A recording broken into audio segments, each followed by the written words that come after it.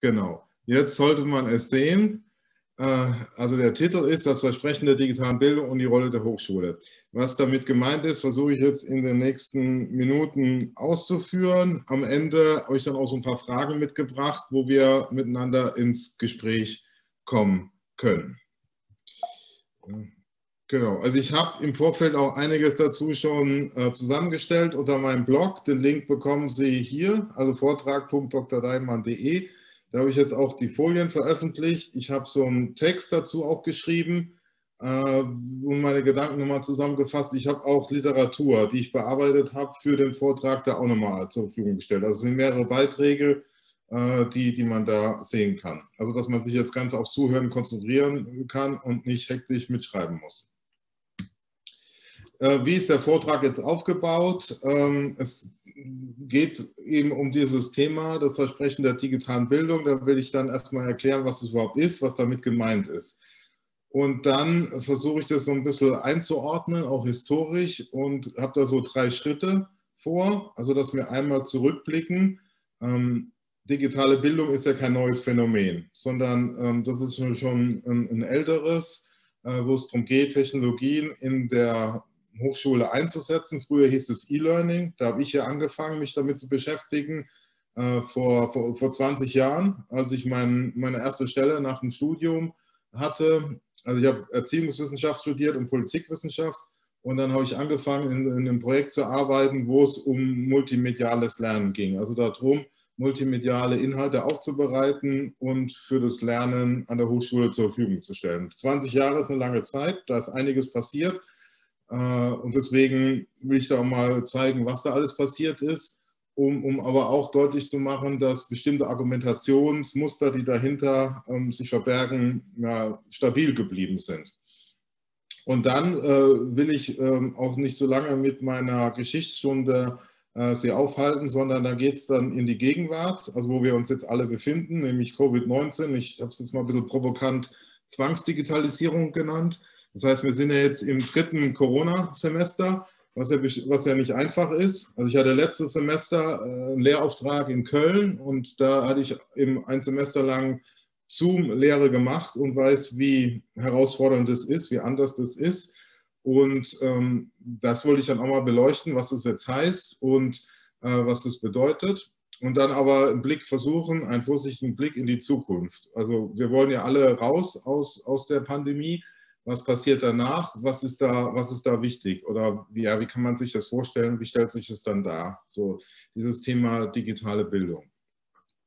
Genau. Jetzt fangen wir erstmal an mit dem Grundlegenden. Also was meine ich überhaupt mit das Versprechen digitaler Bildung, bevor wir dann konkret in die äh, Historie und in die ähm, Entwicklung einsteigen.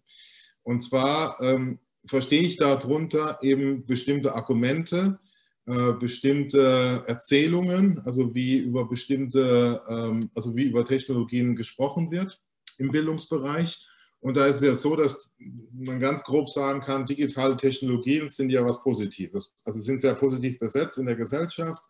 Äh, wir, wir sind in der Digitalisierung, wir sind in der digitalen Transformation. Und das ist also besetzt mit ähm, Vorstellungen des Fortschritts und auch des Wohlstands. Und warum das ähm, jetzt auch so gut greift im, im Hochschulbereich, das liegt an bestimmten Dingen. Die habe ich jetzt hier unten mal aufgeführt. Also, dass diese Erzählung, digitale Technologien sind was Positives, sind was Gutes, äh, äh auch für die, für die Hochschule ist, dass man das so darstellt, dass Hochschulbildung dringend, also einerseits darstellt, dringend reformbedürftig ist. Ne? Das heißt, Hochschulen sind schon sehr alt, sehr, sehr traditionell, äh, tun sich schwer mit Innovation. Ne? Also seit mehreren hundert Jahren ist zum Beispiel die Vorlesung was Standard. Äh, also ich sitze jetzt hier in meinem Arbeitszimmer in Berlin und spreche zu Ihnen in Frankfurt oder wo auch immer. Äh, normalerweise würde ich jetzt irgendwo auch vor Ihnen stehen, so äh, frontal und irgendwo, also deswegen heißt es auch noch Vorlesung. Ne? Man liest aus dem Buch vor, wo man sich fragt, wie wie zeitgemäß ist das denn noch, wenn es Internet gibt und YouTube und eben ganz viel Inhalte äh, in anderer Form? Hat, und Hochschulen orientieren sich ja immer noch an diesen, an diesen Veranstaltungsformaten wie jetzt Vorlesungen oder Seminar. Und das ist also das eine, wir brauchen dringend äh, ein Update oder ein Upgrade und da helfen uns Technologien. Der zweite Punkt ist eben, ähm, dass wir sehen können, digitale Technologien revolutionieren äh, gesellschaftliche Bereiche wie die Arbeit und die Wirtschaft oder auch die Freizeit. Ne? Wenn man sich mal zurückversetzt, wie man vor zehn Jahren noch seine Freizeit gestaltet hat oder Medien- und Konsumverhalten, ist es heute ja sehr viel anders da. Ne? Also mit Smartphones kann man ja ganz viel machen, Streamingdienste, kann äh, Essen bestellen, man kann Urlaub buchen, alles mit ein paar Klicks auf dem Handy. Und deswegen ist dann so die Argumentation, ähm, dass eben deswegen digitale Technologien auch in der Bildung Einzug erhalten müssen. Also das ist jetzt nicht nur nicht meine Sicht, sondern ich versuche das eben so auf eine kritische Art darzustellen, dass so ein Argument ist, was in der Wirtschaft gut funktioniert oder in der Arbeitswelt, muss auch in der Bildung funktionieren. Und deswegen wird auch so eine Art Imperativ abgeleitet. Das heißt, ähm, äh, digitale Technologien müssen in der Hochschule eingesetzt werden. Ne? Also das ist, das ist keine Frage, sondern das ist eher so eine Forderung. Und dazu komme ich dann auch noch, also vor allen Dingen von der Wirtschaft oder auch von der Politik, äh, wird, es, wird es eben sehr stark eingefordert. Und warum? Weil eben die, äh, die, die Hochschulen bisher sehr konservativ sind. Also ohne Corona würden wir ja nicht alle jetzt wissen, wie, wie das mit Zoom geht, mit den ganzen Formaten und äh, mit der ganzen Digitalisierung. Und das liegt eben daran, dass man davon ausgeht, Hochschulen sind sehr konservativ und sperren sich auch gegen die, die äh, tiefere Integration digitaler Technologien. Weil das Leitbild ist eben die Präsenz. Man, man äh, tauscht sich im Seminarraum aus oder steht vorne vor dem Plenum und äh, hält seine Vorlesung. Und da waren halt Technologien lange Zeit nur so ein Add-on, was man begleitend dazu gemacht hat. Und das ist halt so eine Argumentation. Also das Versprechen würde jetzt bedeuten, dass äh, digitale Technologien eben zu Verbesserungen führen, zu, zu, an, zu mehr Effizienz, zu, zu anderen Lehr- und Lernformaten. Und wichtig dabei ist zu verstehen, dass es oftmals gar nicht hinterfragt wird. Also ist es wirklich so? Ne? Wo sind die Belege dafür? Gibt es da irgendwelche empirische Evidenzen? Sondern das wird einfach behauptet und ähm, hat aber dadurch, dass, es, dass man dann auf andere Bereiche rekurriert, also andere gesellschaftliche Bereiche wie die Arbeit, hat es so eine hohe Überzeugungskraft. Ne? Wenn es dann heißt, ja, eine Arbeit 4.0, brauchen wir auch Bildung 4.0. Ne? Das ist so ein, so ein ganz einfacher Analogieschluss.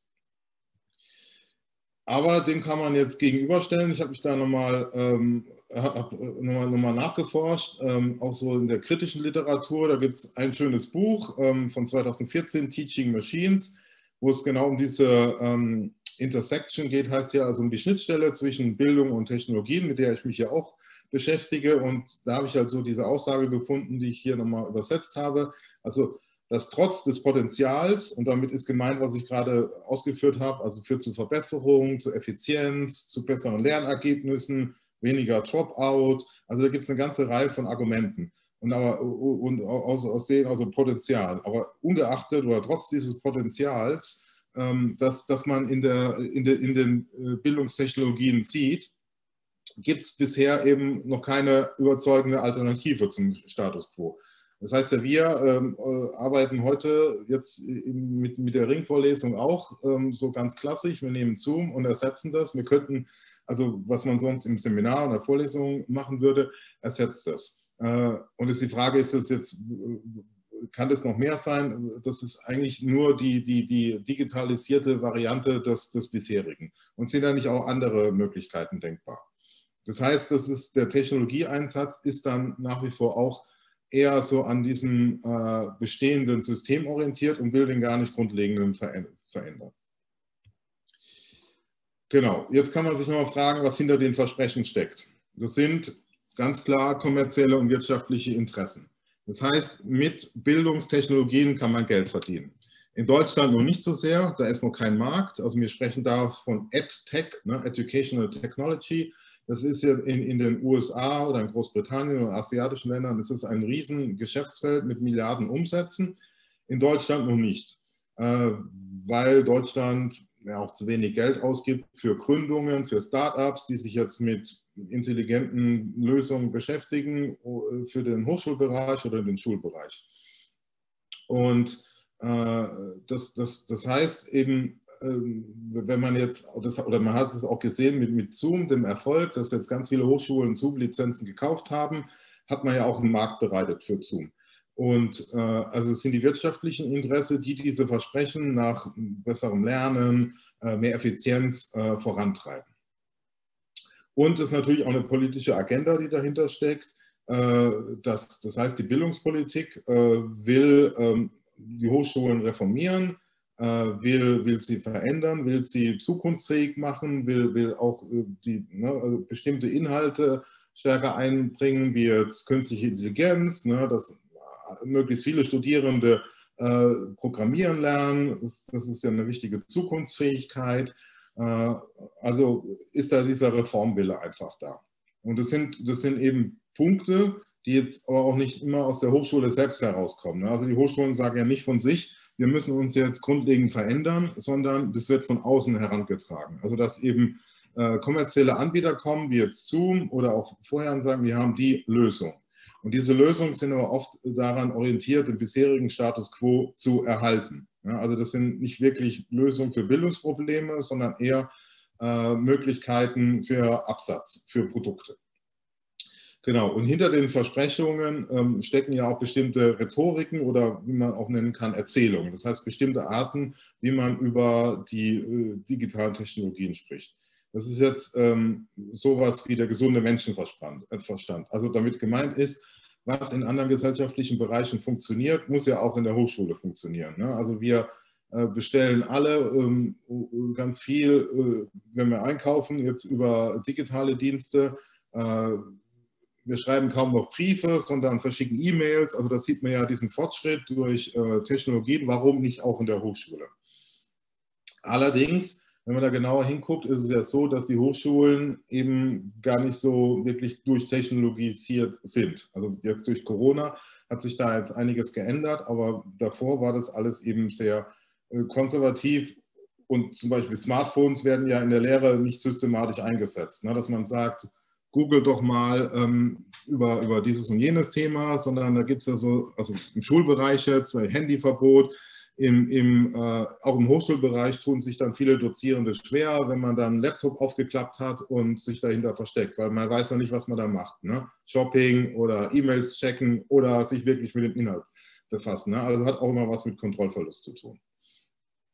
Und ähm, ein, ein eine andere Erzählung ist, äh, dass Deutschland ein sehr technologisch fortgeschrittenes Land ist, also so, so das Selbstbeschreibung ne? Äh, mit, mit, mit Automobilbau zum Beispiel ähm, und deswegen äh, und, und, die Menschen sind auch technisch aufgeschlossen. Ne? Jeder hat ein Smartphone. Warum wird es dann nicht mehr in der Hochschule eingesetzt, äh, die digitalen Technologien? Also es sind alles Dinge, ähm, die jetzt so ein Bild ähm, erzeugen. Hochschulen sind sehr konservativ, brauchen dringend eine Reform und Technologien bieten genau die Lösung dafür, damit die Bildung besser wird, die Hochschulen effizienter sind äh, die Lehre sich flexibilisiert. So, das ist ganz grob damit äh, dargestellt, was ich meine mit den Versprechen.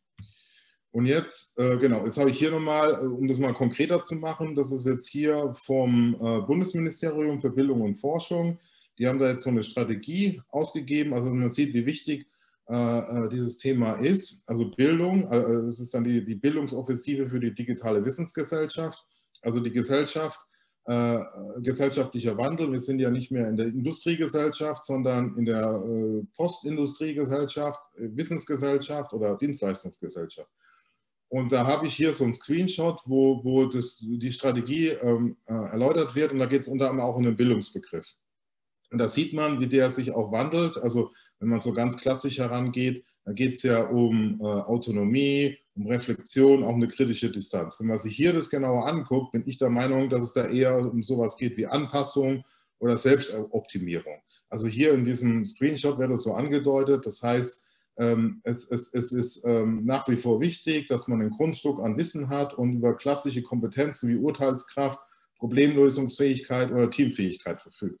Aber, ne, jetzt es, wichtig ist eben, sich fortlaufend es ist seine, seine Qualifikation fortlaufend äh, zu erweitern und um sich für eine wandelnde Arbeitswelt gut aufzustellen.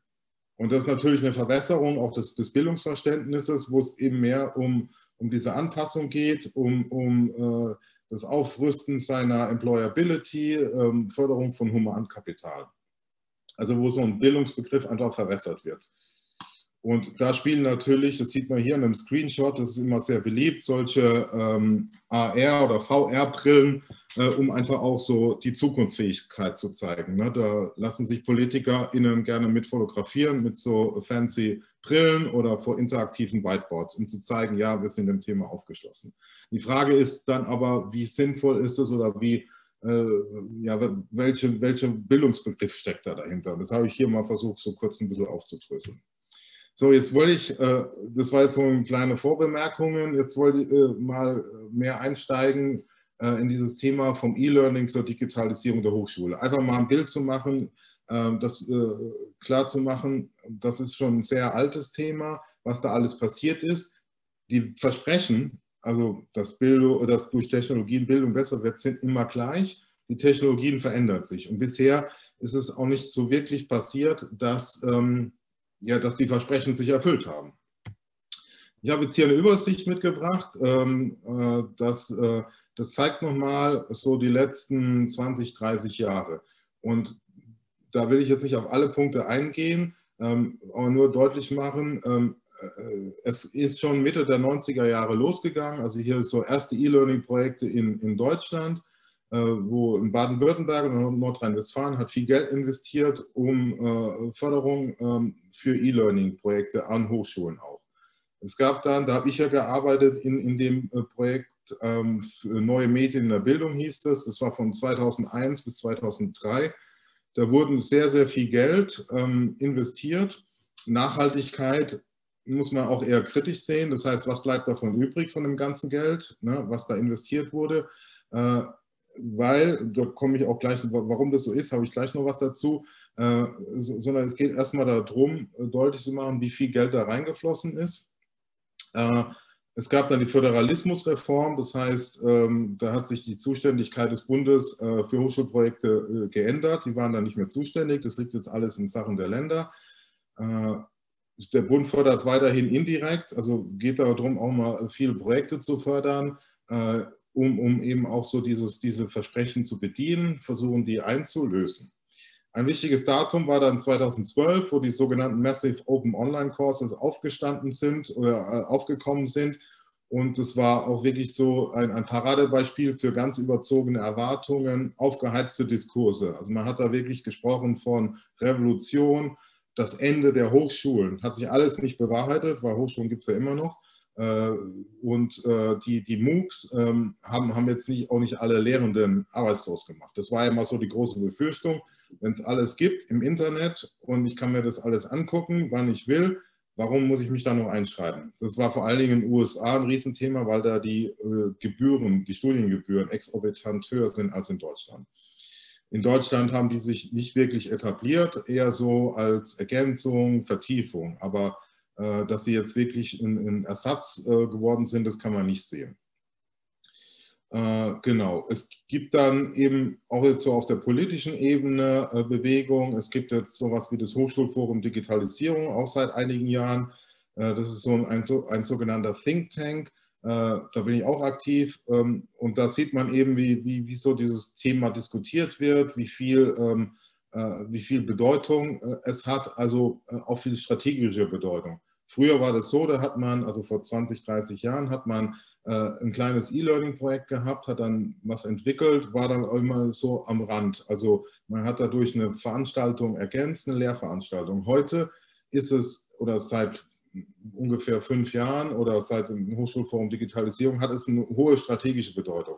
Das heißt, wir sprechen dann von Digitalisierungsstrategien, äh, die, die Digitalisierung betrifft nicht nur die Lehre, auch die Forschung, auch die Verwaltung. Also ein grundlegender Wandel wird da äh, an, äh, dadurch angezeigt. Und dann 2020 jetzt die Corona-Krise äh, mit, mit äh, den ganzen Krisen und, und Reaktionen, wo man jetzt eigentlich mal zum ersten Mal sieht, was das wirklich so eine, so eine umfassende Digitalisierung bedeutet.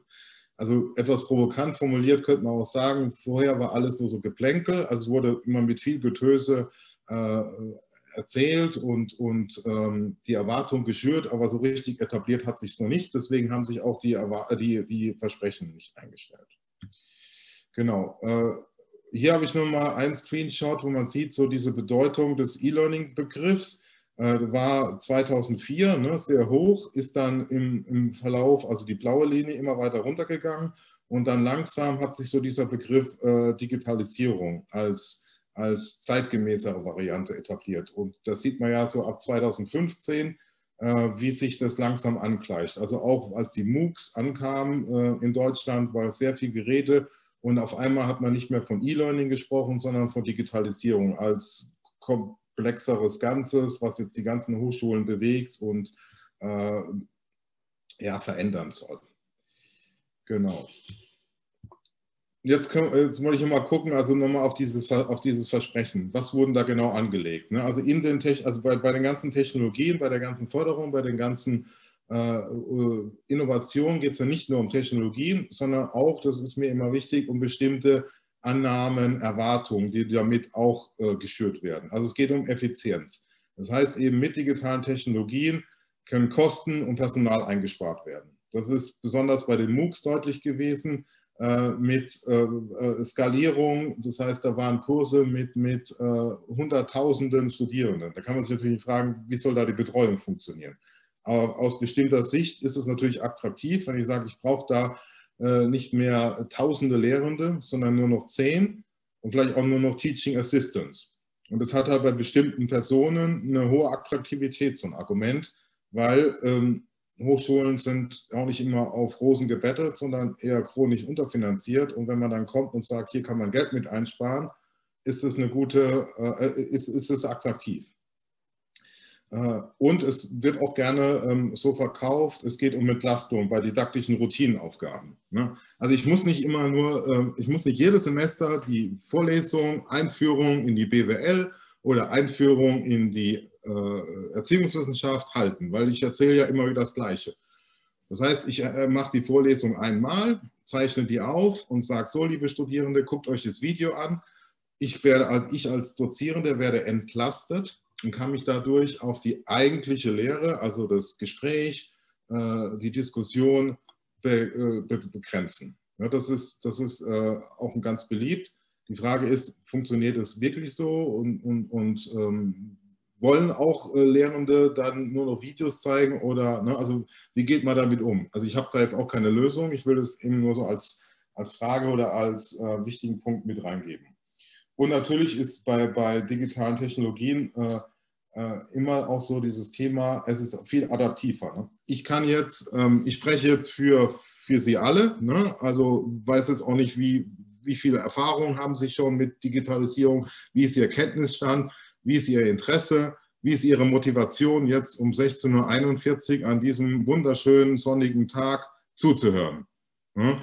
Und wenn ich jetzt kein Mensch wäre, sondern eine hochintelligente künstliche Intelligenz, könnte ich mich, könnte ich ja versuchen, über jetzt äh, Gesichtsmimik ähm, äh, zu erkennen, ist jetzt jemand äh, müde oder äh, da muss ich irgendwie meinen mein, mein Stil ändern oder kann ihn anpassen oder sehe ich, dass sie sehr aufmerksam sind, dann kann ich ja sagen, ja, ich gebe jetzt nochmal Gas und gebe noch mehr Informationen das, das, das kann ich ja als Mensch nicht so gut. Und die, die Erzählung ist, oder dieses Versprechen ist, mit künstlicher Intelligenz ist es viel besser möglich. Wir müssen nur gewisse Dinge messen, bis hin zu irgendwelchen äh, äh, Hirnströmen oder Hautleitwiderständen und dann hat man eine viel effizientere Lehre. Also ich finde es auch sehr gruselig, aber es sind, äh, es, es sind Dinge, die, die, die man so findet, die, die äh, eben, um, nicht nur um Geld zu verdienen, sondern auch wirklich um, um eine andere Lehre zu etablieren. Und äh, letzter Punkt hier ist, es geht auch um die Erweiterung und Ergänzung der Hochschulorganisation. Ich glaube, das, das sind halt sehr praktische Dinge, die helfen würden. Also sowas wie, kann ich mich digital einschreiben? Äh, Gibt es nicht eine App für alles, äh, von, von, von äh, Einschreibung, äh, Prüfungsbelegung, irgendwie Geld aufladen für Mensa-Essen? Ne, da, da, da, da klemmt es ja noch an vielen, ne, wo man, äh, also an vielen Stellen wo man eben noch nicht so äh, digital ist, was, er, also was die Verwaltung betrifft. Und da bieten digitale Technologien eben äh, auch andere Möglichkeiten, das Ganze zu organisieren. So, jetzt ähm, äh, wollte ich hier nochmal äh, darauf eingehen, also wie diese Versprechen umgesetzt werden bisher. Also es gibt klassischerweise ganz viel externe Anreize, sehr viel Geld von von der Bundespolitik, von den Ländern äh, für, für die IT, für Software, für Apps. Es gibt ganz viel ähm, Förderprogramme äh, von, von Bund und, und Ländern, äh, um eben gewisse Innovationen anzuleiern, um, um, um E-Learning voranzutreiben. Wie eben sowas wie neue Medien der Bildung oder auch ein, Klassiker ist so Schulen ans Netz. Ne, das gab es schon in den 90ern hat sich aber nicht wirklich durchgesetzt. Das sehen wir ja heute an der Corona-Diskussion. Muss man ja noch in die Zeitung gucken, ne, dass bis äh, 2021 noch nicht mal, jeder, äh, nicht mal jede Lehrkraft in der Schule eine dienstliche E-Mail-Adresse hatte oder ein eigenes Laptop. Also da sieht man, wie weit es doch auseinandergeht. Aber man, äh, also hier dieses Bild rechts, fragen sich, was soll das? Das ist äh, mein altes Klassenzimmer wo ich 1994 Abitur gemacht habe. Da war ich, als ich 25 Jahre Abiturfeier hatte, war ich da mal eingeladen und habe da das gesehen. Und früher sah das natürlich nicht so aus, als ich Schüler war. Da gab es noch nicht diese äh, Monitore und die PCs. Aber ich fand es halt so treffend. Also früher saßen, saßen wir eben so da und haben dann zugehört. Heute sitzt man immer noch genauso da, hat aber den, den Computer äh, vor sich. Und damit will ich einfach nochmal zeigen, wie wenig sich eigentlich ändert, bei, aber wie viel der Anschein erweckt wird, es ist jetzt ganz anders da, es ist ganz fortschrittlich. Aber tatsächlich ist es nicht immer so. Genau, weil es werden halt gewisse Dinge vergessen bei dieser ganzen äh, äh, Diskussion oder bei den ganzen Maßnahmen um Digitalisierung. Es fehlt nämlich oft an der systematischen Integration in der Hochschullehre. Also wie Technologien äh, auch in, in, in, den Fächern, in, in den Studiengängen, in Bachelor- und Masterprogrammen eingesetzt werden. Da, da gibt es noch zu wenig. Das merkt man ja jetzt an der Corona-Sache, weil da viele jetzt einfach nur ihre Vorlesung digital halten oder ihre Seminare und sich gar nicht, und gar nicht in der Lage waren, das irgendwie anders dazu gestalten. Also weil das eben der Punkt ist, Kompetenzentwicklung der Lehrende wurde, wurden, wurde auch vernachlässigt. Ähm, äh, es, gibt, es gibt immer viel Angebote dafür, aber die Nachfrage ist gering, weil man eben sich auch mehr so der Präsenzlehre ver, verschrieben hat, äh, weil man mit anderen Dingen beschäftigt war. Also fehlen auch die Anreize. Und auch sowas wie E-Learning Support fehlt auch ähm, nachhaltig. Also es gibt an vielen Hochschulen äh, nur befristete Stellen, die dann was anbieten, wenn jemand eine Frage hat für, für jetzt eben sowas wie Kompetenzentwicklung. Und dann äh, kann sein, dass wenn die Stellen auslaufen, dass sie nicht wieder besetzt werden und dann hat man als Lehrender gar keinen Ansprechpartner, weiß nicht, wie, wie ich dann jetzt gewisse Software vielleicht update. Äh, und was ein großer Hinderungsgrund ist, ist äh, sowas wie Regularien und Verordnungen der Hochschulen. Dazu habe ich hier was, es klingt jetzt sehr, sehr technisch und sehr trocken, ist aber interessant. Nämlich das ist die sogenannte Lehrverpflichtungsverordnung. Das heißt, jeder Lehrende muss ja gewiss, ein gewisses Deputat äh, an, an Lehre machen. Ne? Dafür wird er ja bezahlt. Und ähm, hier ist das Beispiel Nordrhein-Westfalen und da ist eben interessant dieser Passus, ähm, dass also diese, diese Lehrverpflichtungsverordnung regelt eben die Lehre des, und das Personal an Universitäten und Fachhochschulen. Und da äh, heißt es jetzt bei diesem zweiten Punkt, dass ähm, Erstellung und Betreuung von Multimedia-Angeboten, äh, da merkt man schon an der Formulierung, das ist nicht die allerneueste Version, also heute spricht man nicht mehr so von Multimedia. Und virtuell durchgeführte Lehrveranstaltungen, die Anrechnung ist gedeckelt, nämlich auf 25 Prozent. Das heißt, ich habe ja da zum Teil mehr Aufwand, weil ich mich neu einarbeiten muss in die Erstellung oder in, in ein Videoschnittprogramm zum Beispiel oder in äh, ja, digitale Lernprogramme. Da muss ich mich einarbeiten. Und diese Einarbeitungszeit wird mir gar nicht voll angerechnet. Das heißt, es ist ein negativer Anreiz. Das heißt ja nichts anderes wie, dann lasse ich die Finger davon, weil ich kriege ich krieg das nicht angerechnet. Ne? Wenn ich ein hohes Deputat habe, also gerade an Fachhochschulen ist es ja enorm hoch, also wie viele Seminare und Vorlesungen man machen muss. Und da äh, schafft man das äh, dann oder schafft es sehr schlecht, wenn, oder, wenn, wenn es nicht alles angerechnet wird. Also es ist ein negativer Anreiz und das wurde auch vergessen. Also man hat viel Geld in die Technik investiert und hat, äh, hat es ähm, sich so ähm, auch dadurch erzählt, wie fortschrittlich man ist, aber es wurden eben so ein paar Hausaufgaben vernachlässigt und das betrifft jetzt hier dieses äh, Thema Anrechnung. Und das, und das ist wirklich ein K.O.-Kriterium, weil viele Lehrende gucken dann, ja, kriege ich das angerechnet oder nicht? Wenn nicht, dann macht man es eher nicht, weil ähm, man hat so viel zu tun. Das liegt ja nicht daran, dass sie es nicht wollen, sondern dass es dadurch so eine strukturelle Behinderung gibt. So, jetzt wollte ich mal springen in die Gegenwart. Äh, also das war jetzt nur mal so, um zu zeigen, es wurde viel Geld investiert, äh, es wurde ähm, viele Projekte gestartet, nicht immer nachhaltig, weil eben diese Hausaufgaben oder diese, ja, diese Baustellen nicht, nicht vollständig bearbeitet wurden. Der Blick war nicht, nicht ganz so umfassend, vielleicht kann man so sagen. Genau. Äh, also was ist passiert? Ähm, wir haben am 11. März, also vor über einem Jahr, die WHO Covid-19 als Pandemie ausgerufen. Und das war schon zu, zu, Zeiten, als Hochschulen, also Fachhochschulen, schon mitten im Semester waren. Also die hatten ihren Betrieb schon gestartet, Universitäten noch nicht, äh, sondern das Sommersemester stand äh, davor. Und da war, und das ist interessant, sich das heute mal anzugucken, eben die Erwartung, das ist eine riesen Herausforderung oder wie es hier heißt äh, in diesem Text äh, oder dieser Nachrichtenmeldung, eine Herkulesaufgabe. Das heißt, ähm, man, man dachte, oh Gott, wie soll man das schaffen? Es ist ein außergewöhnliches Sommersemester, weil es muss voraussichtlich komplett digital stattfinden. Das gab es noch nie.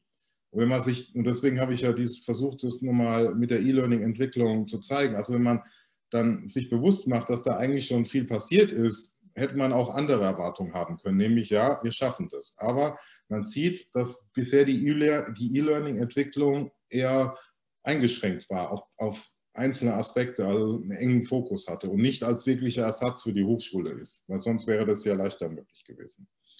Genau, ich habe jetzt hier nochmal eine Übersicht ähm, aus der Krisenbewältigung, das haben Sie alle live miterlebt. Ähm, also es gibt diese Phase 0, die finde ich halt wichtig, dass man sich anguckt, was war so der jeweilige Stand der Digitalisierung an der Hochschule. Äh, die, der ist ja wahnsinnig verschieden. Ne? Einige, ne, die gut ausgestattet waren, die hatten, da, äh, die hatten da viel gemacht, also an Technologien, an Kompetenzvermittlung, an Support.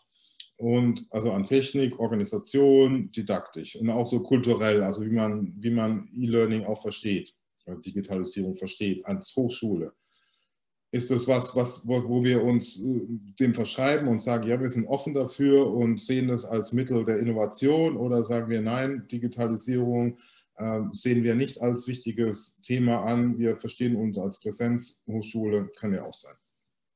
Genau, und was ist jetzt passiert? Also es, wurden, es musste was passieren, es war diese Krisenintervention mit ganz vielen Taskforces, äh, weil der Lehrbetrieb musste sichergestellt werden. Es wurden also im Hauruck-Verfahren, äh, was auch außergewöhnlich ist, weil Hochschulen sind sonst nicht so schnell, äh, wurden Zoom-Lizenzen gekauft, was auch datenschutzrechtliche Probleme hat, ne, amerikanischer Dienstanbieter, aber war eben das Gebot der Stunde. Ist natürlich auch wieder, kann man sagen, warum hat man vorher nicht eine deutsche Videokonferenz-Server-Lösungssystem entwickelt?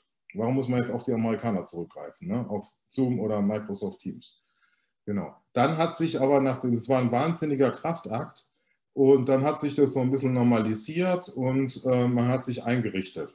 Und dann ist aber das passiert, was, was hier, finde ich, auch, äh, als Zoom-Fatigue, also Zoom-Müdigkeit bezeichnet wird. Ne? Also das kennen Sie ja bestimmt alle. Ich kenne es auch, weil ich letztes Semester auch eine Lehrveranstaltung hatte, äh, wo, wo, man, wo man dann eben, äh, ja, man hat Breakout Rooms, da kann man ein bisschen Abwechslung machen, aber sonst ist es eben ja, anstrengend, weil ich sehe sie nicht direkt, ne? man hat nur so, so eine kleine Kachel, nicht alle haben die, die, die Kachel an, äh, ist schwarz, kann ich auch verstehen, wenn man nicht will, wie sieht es bei mir zu Hause aus, ne? kann ich alles nachvollziehen, aber hat eben, also verändert dann die Lehre. Und dann ist ja jetzt auch so, so, eine, äh, so diese Frage entstanden, was ist überhaupt digitale Lehre? Also ich glaube, klar ist, dass das, wie es bisher gelaufen ist, dass das nicht digitale oder gute digitale Lehre ist, sondern das muss irgendwie anders sein. Aber dieses, wie anders ist und, und wie sieht es dann aus, das ist ja genau jetzt die Frage. Und wir sehen ja auch, dass jetzt eine, eine sehr große Sehnsucht entsteht, zurück zur Präsenz. Das heißt, äh, man, man, man will äh, wieder zurück ne, in die Präsenz, aber dieses, diese positiven Erfahrungen, die man jetzt durch die Corona-Krise gemacht hat, nicht ähm, vergessen oder vernachlässigen, sondern das irgendwie verknüpfen. Und dieses irgendwie wird dann als hybride Lehre bezeichnet. Das heißt also eine Verknüpfung von Präsenzformaten und Online-Formaten. Und da sind wir jetzt, so in der Phase 2 und 3. Das heißt, man könnte sagen, die, die Versprechen sind teilweise eingelöst, äh, weil die Umstellung erstaunlich gut lief. Also das ist auch so eine Formulierung, die habe ich ja hier in Anführungszeichen gesetzt, weil die auch, finde ich, charakteristisch ist. Weil die Annahme dann eine andere war. Ne? Man dachte, man schafft es nicht. Und deswegen lief es jetzt erstaunlich gut. Was aber, wenn man den ganzen Diskursen folgt, die früher im E-Learning-Bereich ähm, geführt wurden, dann sagt man, natürlich schafft man das. Hochschulen und Digitalisierung, das wird gut funktionieren. Äh, also was hat gut funktioniert, ist eben die Technik äh, anzuschaffen, äh, aber ähm, ja, die, die, äh, die Didaktik ist da, glaube ich mal, ein bisschen ins Hintertreffen geraten. Also man hat viel Technik angeschafft, man hat auch Support angeboten für äh, die Lehrenden, also Schulungen, dass die gezeigt bekommen, wie bedient man Zoom, wie mache ich eine Breakout-Session, wie mache ich ein Webinar. Und Problem hier ist, es hat auch eine Studie gezeigt, die ich hier verlinkt habe, ist die, die, die fragliche äh, oder offene Nachhaltigkeit durch Auslaufen von Finanzprogrammen. Ja, die haben sich das mal angeguckt, auch die, die Finanzierung von Support-Einrichtungen an Hochschulen. Und da ist eben eine Gefahr, dass die, diese Mittel, die eben nicht verstetigt sind, auslaufen und dass man dann diesen, diesen hohen Bedarf, den man hat, ne, also weil der ist jetzt durch Corona ja explodiert und der wird auch weiterhin hoch sein, dass man den nicht vernünftig bedient. Das heißt, äh, Lehrende könnten auch wieder abgeschreckt werden weil, weil sie sagen, ich kriege ja hier gar keine Unterstützung, also mache ich einfach weniger. Ne? Ich, ich, oder die finden keine ähm, Weiterbildungsmöglichkeiten, weil die Hochschulen nicht in der Lage sind, die anzubieten, weil dafür die Finanzierung fehlt.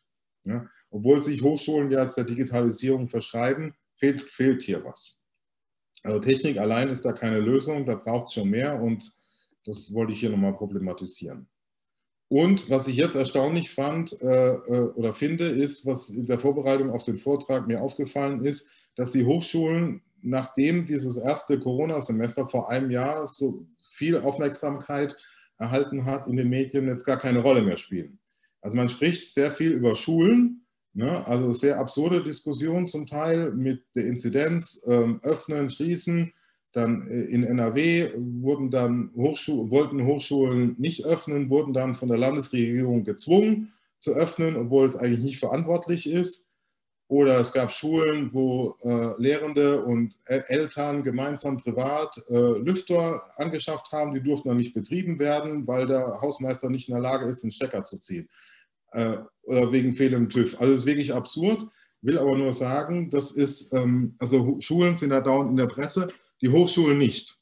Also ich habe da äh, in meinen Literaturquellen, die ich äh, Ihnen zur Verfügung stelle, einiges gefunden, ähm, wo, man, äh, wo man sieht, die Hochschulen mischen sich auch nicht selber ein, sondern die, ja, die ergeben sich. Also es fehlen auch Öffnungskonzepte. Ne? Das war jetzt hier bei diesem Tweet, den ich da rausgefunden ha rausgesogen habe, wo das auch nochmal kritisiert wurde.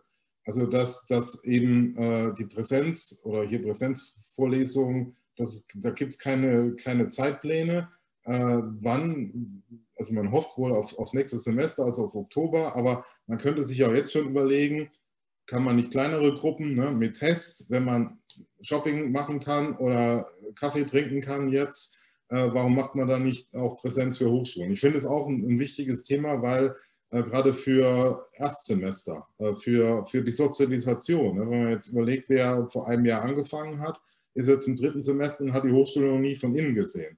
Finde ich problematisch.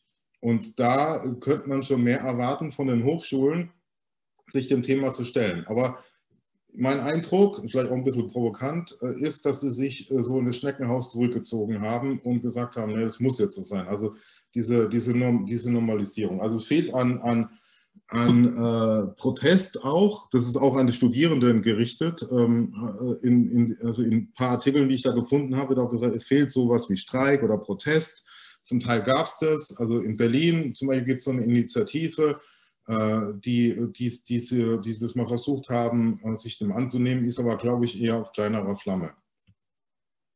So, jetzt zum Ende meines Vortrags wollte ich nochmal äh, eben, ja, was können wir jetzt machen? Also ich habe jetzt viel über Probleme und Herausforderungen gesprochen. aber damit es nicht so negativ ähm, endet, versuche ich jetzt nochmal ähm, da den Blick in die Glaskugel zu werfen. Also aus der Not eine Tugend machen, hybride Lehre. Da kann man sich fragen, was soll da jetzt mit was verknüpft werden? Und auch dieses Konzept Hybridität, das habe ich jetzt hier aus der Kulturwissenschaft mal rausgezogen, ähm, ist nämlich gar nicht so ähm, augenscheinlich überzeugend, wie man, also, also hat seine Tücken. Äh, weil Hybrid, so wie es äh, in, der, äh, in der Diskussion an Hochschulen verwendet wird, heißt meistens, wir verwenden Präsenz und digital irgendwie. Aber hier fand, fand ich den Punkt gut, der, der in dem Zitat zum Ausdruck gemacht wird. Also es wird ein harmonisches Bild vermittelt, ne, dass sich Präsenz und digital gut miteinander verknüpfen. Aber das ist nicht so, weil es ist nämlich nicht ähm, äh, einheitlich und, und oft auch konfrontativ. Also da kommen so Sachen wie Zugäng äh, Digital Divide, Zugänglichkeit äh, von, äh, an, an digitalen Technologien, Internetanbindung im ländlichen Raum, digitale Kompetenzen, also nicht nur von Studierenden, auch von Lehrenden äh, für, für bestimmte äh, Programme und dass das Ganze auch mit, mit kultureller und sozialer, äh, sozialer Diskriminierung ver, verknüpft ist. Ne? Also nicht alle lernen gleich gut. Die Gefahr ist, dass soziale Ungleichheit nicht verringert wird, sondern verstärkt oder sogar noch vergrößert wird. Das heißt, man muss sich da einfach nochmal Gedanken machen, wie, wie man dann das jetzt gestalten will in Zukunft, also was die Technologien betrifft, aber auch die Praktiken, also das, das, das Lehren und das Lernen konkret und äh, sowas wie didaktische Konzepte. Weil oft, also deswegen habe ich hier nochmal äh, angemerkt, virtuelles Klassenzimmer ist einfach so eine äh, 1 zu 1 Übersetzung. Ne? Also man hat ein Bild vom Klassenzimmer, mit, bestimmten, äh, mit einer bestimmten Architektur. Die SchülerInnen sitzen so und der Lehrende steht vorne und kann alles beobachten. Ne? Also da geht es ja um bestimmte Machtstrukturen, die könnten im, im Digitalen einfach weitergeführt werden. Und die Frage ist, ist es noch zeitgemäß oder ist Hochschullehre nicht was anderes? Das heißt, das Ganze ist nicht so einfach, wie man denkt, äh, ist eben eine Aufgabe an alle. Also meine ich nicht nur die Hochschulleitung oder Lehrende, sondern auch Studierende. Also sich auch einzubringen, kritisch und äh, stark zu machen, wenn man irgendwie das Gefühl hat, ich werde da nicht ausreichend erreicht oder ich fühle mich benachteiligt oder ich habe eine andere Idee. Ne? Also sowas wie, wie, wie, ja, wie dieses auf Augenhöhe oder wie diese äh, Partizipation. So, jetzt bin ich schon am Ende. Ähm, ich glaube, ich muss auch zum Ende kommen. Und zwar habe ich jetzt für, für die Diskussion ähm, ein paar Punkte mitgebracht. Und zwar äh, geht es darum, ähm, die Versprechen nochmal sich anzugucken, also vor Augen zu führen und zu fragen, wer profitiert auf welche Weise von Versprechen digitaler Bildung in den nächsten Jahren. Und da kann man jetzt gucken, sich die Hochschulen angucken und sich fragen, ähm, schaffen es die Hochschulen, äh, eine digitale Hochschulbildung aus der eigenen Tradition abzu, äh, äh zu, zu etablieren? Und nicht einfach nur was nachzubauen oder, oder jetzt zu so tun, als wären sie äh, Google oder, oder Facebook oder, oder, oder, oder MOOC-Plattformen, sondern sich auch der eigenen Werte, die auch im Bildungsbegriff angelegt sind, zu vergewissern und versuchen, das mit den digitalen Möglichkeiten weiterzuführen. Das ist da nichts Konservatives, sondern das ist eher was, ähm, äh, ja, was äh, nach vorne gerichtetes, äh, aber reflektiertes. Und äh, man kann auch fragen, profitieren jetzt die Studierenden in der Zukunft? Also was ich ja versucht habe, so ein bisschen anzuregen, werden sie auch als IdeengeberInnen äh, äh, wahrgenommen äh, und, und auch kritische Begleiter, äh, die, die, die sich stark machen für eigene Bedürfnisse, äh, die, die also auch Verantwortung übernehmen und, und es einbringen.